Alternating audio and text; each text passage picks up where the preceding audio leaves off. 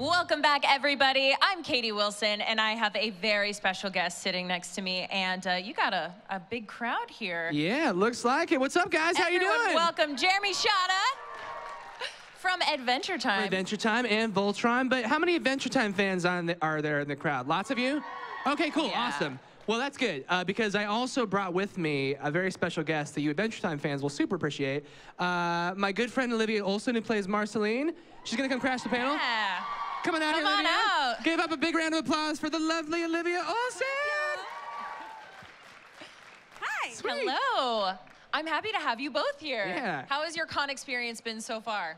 Great so far. Yeah, I just got in. I just got in yesterday. Uh, did some stuff for Voltron, and now today I'm on the show floor signing, taking selfies, all you beautiful peeps, uh, and uh, just hanging out. It's been good. Yeah, I've been signing over at the Boom Comics booth, so after this at four, I have a signing. If you're not at Jeremy's panel, which you should probably be at, but after, yeah, we have a Emerald Com- Emerald City Comic Con exclusive Marceline comic that I'll be signing over there. So come say hi. So I notice a lot of cosplay here. Yes. Does that ever get crazy to see? You know, I think we've like been seeing cosplay for like so long at this point that you kind of get used to it. But it is still crazy to think that like, it's so weird to be at a place where like that's normal.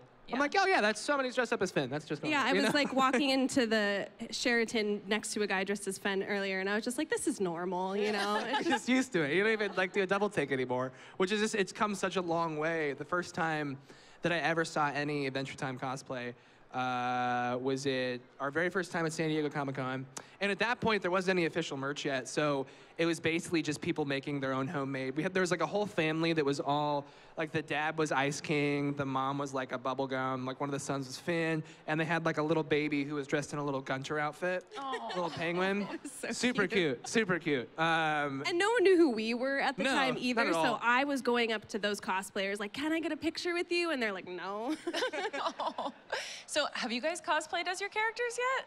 I have not. no. Why not? I sort of did. I did it for Halloween because I didn't have a costume. You were super lazy at last minute. Was like, yeah, oh well, and I what had to I go to a away with? Halloween party, and I had her uh, sweater. So I was like, well, I'll just throw on some vampire teeth and.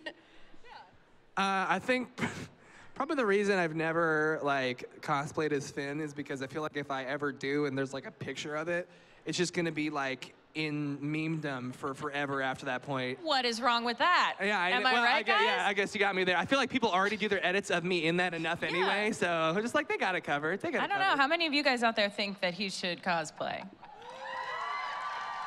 Yeah, I definitely think Oh so. dang it! So I kind of want to take us back a little bit. How did you guys get your start in acting and voice acting?